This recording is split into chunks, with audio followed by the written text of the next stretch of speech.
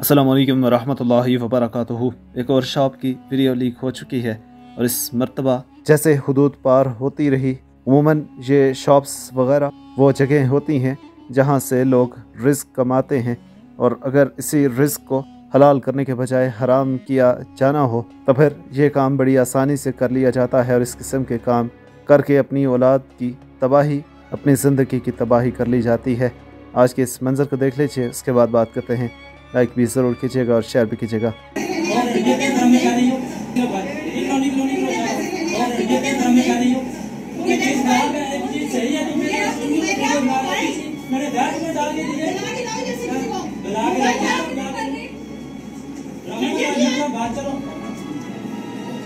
तो दोस्तों, पचास पचास रुपए का जूस साथ ही साथ सस्ता दूध और इस किस्म के फ्रॉड्स हमारे यहाँ सरेआम सड़कों पे चलते हैं, गली बाजारों में चलते हैं, दुकानें जाली चीज़ों की जाली केमिकल्स की हैं और इन लोगों को जब एक्सपोज करने की कोशिश की जाती है तो अंदाज कुछ इस तरह के देखने को मिलते हैं। अब इस वीडियो में वाज तौर पर देखा जा सकता है कि एक शॉप के ऊपर एक जूस वाले को बेनकाब करने की कोशिश की गई और उसने मोबाइल फ़ोन छीन लिया और ख़तून के साथ सख्ती से पेश आने की इसकी तरफ़ से कोशिश की गई। अब ऐसे लोगों को एक्सपोज करने की ज़रूरत है और आज की वीडियो मैक्सिमम फैलाइएगा और कोशिश कीजिए अपनी औलादों को बचाइए बाहर की उन चीज़ों से जो कि बर्बादी के अलावा कुछ भी आपकी औलाद को नहीं दे सकती और तबाही के अलावा कुछ भी उनके हाथ नहीं आ सकता इन चीज़ों के इस्तेमाल से, इन केमिकल्स के इस्तेमाल से।